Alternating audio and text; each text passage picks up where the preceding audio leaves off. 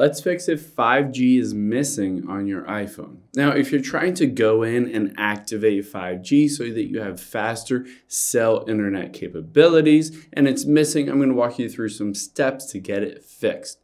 Now, the first and easiest thing to do is make sure that your phone is compatible with 5G. So, a lot of times people just say, okay, 5G is the latest network capability on AT&T, Sprint, T-Mobile. So, why isn't my phone connecting to 5G?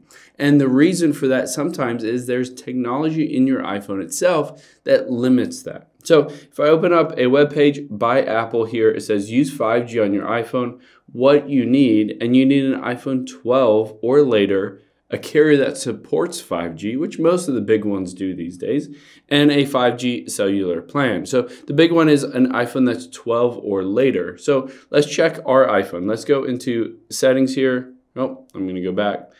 We're going to go general and then about.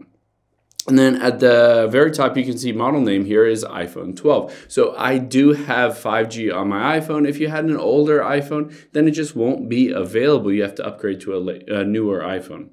Now, there are a few other things that you can do if you should have 5G, but it's still missing. Let's go back here, go back again, and tap on cellular.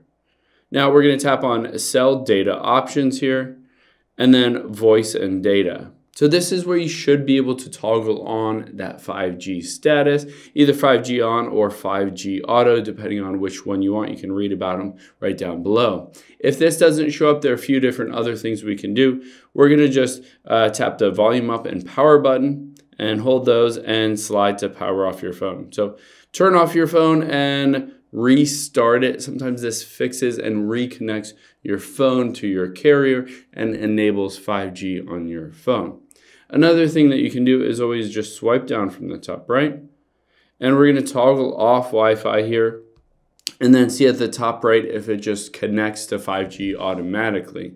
So you can see mine did connect to 5G. If yours still doesn't, there are a few more steps that we can go through. Now let's go back and go back again and then go back again. So if we tap on general and then about, on here, this is basically where potentially your carrier will update the network services or basically a firmware update associated with your carrier, AT&T, Sprint, or whatever.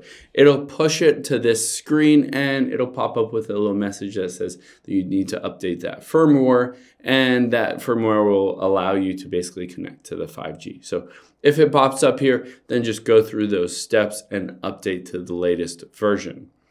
And if that doesn't work, let's go back and we'll go down and tap on transfer or reset iPhone.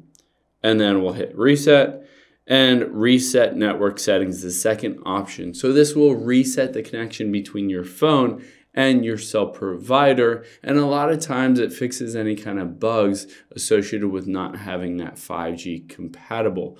So after doing that, it'll restart your phone, go back into cellular and then back into that data, and you should see the 5G option. Hope this helps. If you have any questions on that, leave them in the comments down below, and I'll catch you on the next one.